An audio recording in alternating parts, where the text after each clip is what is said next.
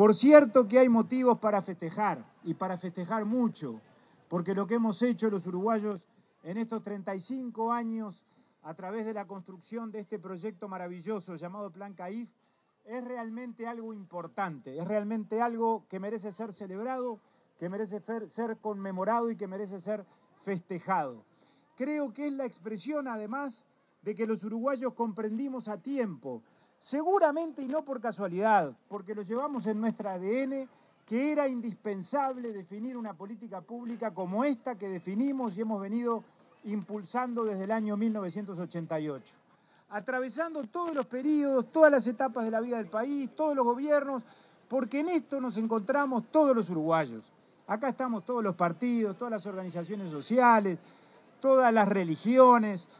los que no tienen religión, todos los orientales que entendemos y entendemos todos los orientales que es una cosa muy importante la atención de la niñez, la atención de la primera infancia, por lo mucho que se juega en esa etapa, como aquí ha sido dicho, y yo no lo voy a repetir.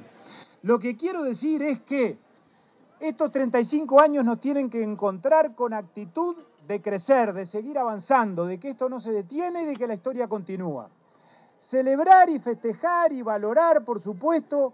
lo mucho de bueno que hicimos entre todos. Por cierto, pero no con un dejo de nostalgia, no con la mirada puesta hacia atrás, no con el espejo retrovisor, sino con las luces largas, mirando hacia adelante, empezando desde ya, como desde ya empezamos, a construir los próximos 35 años. Aquí se decía, y es verdad, en todas las etapas de la vida del país, sumamos, acumulamos, generamos más cupos, abrimos más centros, inauguramos CAIF.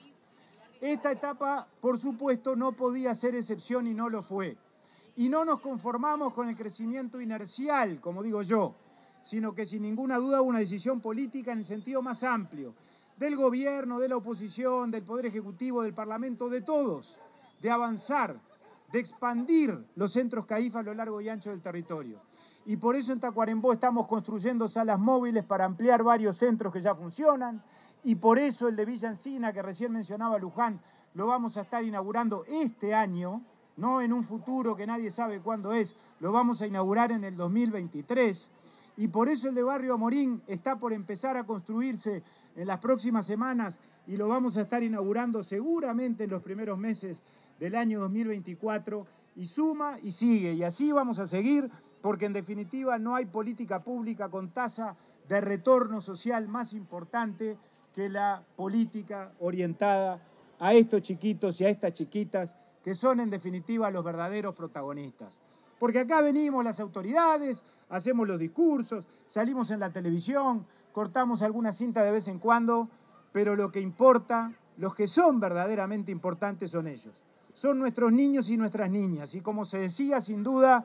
son nuestros educadores y nuestras educadoras. Porque mientras acá hacemos discursos, yo las veo a ellas atendiendo a los niños, cuidándolos, haciéndolos felices, conteniéndolos, dándoles todo el afecto que todos sabemos que los equipos de los distintos CAIF se prodigan en el esfuerzo, y más que en el esfuerzo, porque lo hacen con cariño y con vocación cada vez que se inicia una nueva jornada y estos niños, nuestros niños, llegan al centro de primera infancia. Así que por todo eso es un día de alegría, es un día de sentirnos orgullosos de nosotros mismos sin caer en la vanidad. Hoy estamos celebrando el Plan CAIF, pero estamos celebrando al Uruguay, estamos celebrando nuestra identidad, porque esto pasó en el Uruguay no por casualidad,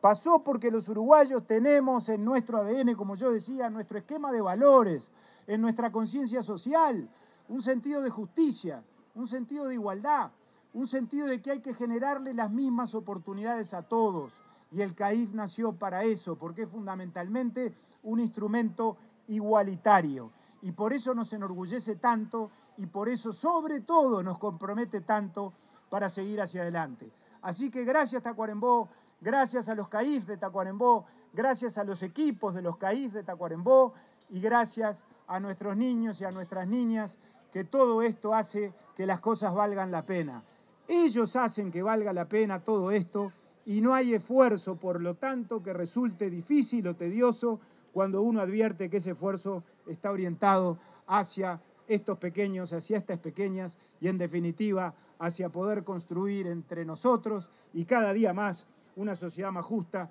donde cada día más sea más lindo todavía vivir en ella, porque es una sociedad igualitaria y es una sociedad donde por lo tanto todos los días construimos ciudadanía y construimos democracia.